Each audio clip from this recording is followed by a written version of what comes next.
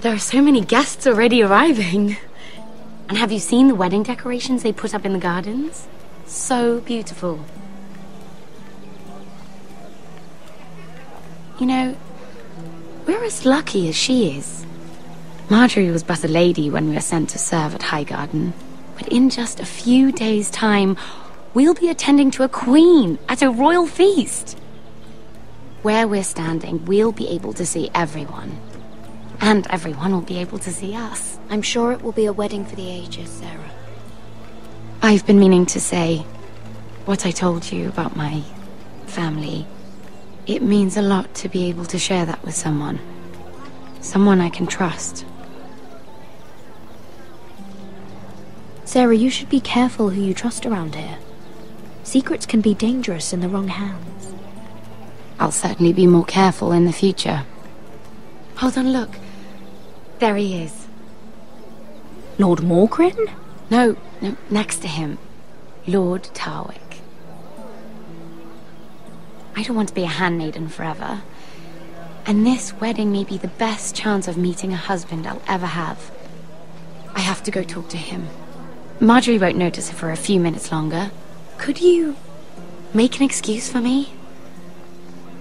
Please. I'm not asking for much. Are you sure you know what you're doing, Sarah? Margaery's so busy. I can't just wait for her to find a match for me. Please, just don't tell Margaery.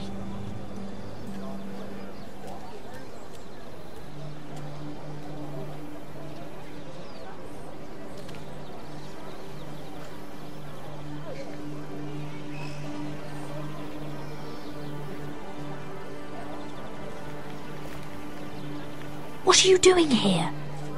Oh, I know I shouldn't be here, but we have to talk.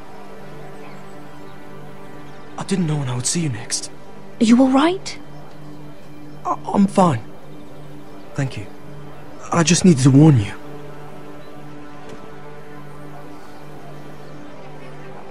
I was down in Fleabottom last night when I overheard a couple of Lannister guards talking about shh.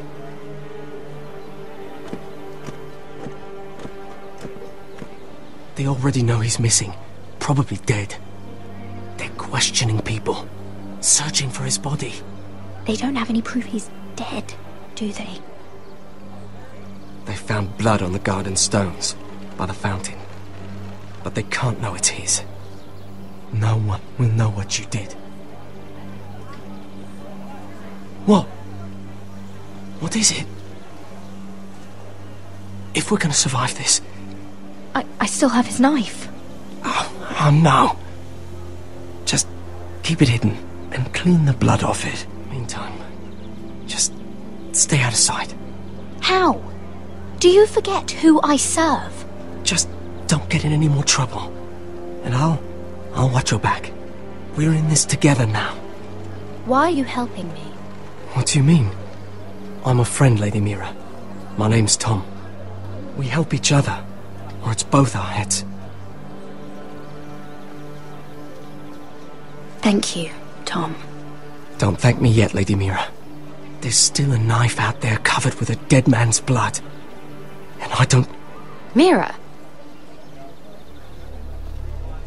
My lady, really? A tryst in the bushes with that coal boy? Not to say it's wrong, but with all the lords and knights in King's Landing, Can we just keep it between us? I prefer nobody knows. we'll keep each other's secrets. That's what friends do. Come on. Margaery expects us at the throne room. We don't want to be late. You can tell me all about this Lord Tarwick on the way. Well, if you really want to know. First of all, his name's Garibald, and he has this really funny accent. He told me the cleverest story about this festival they have where.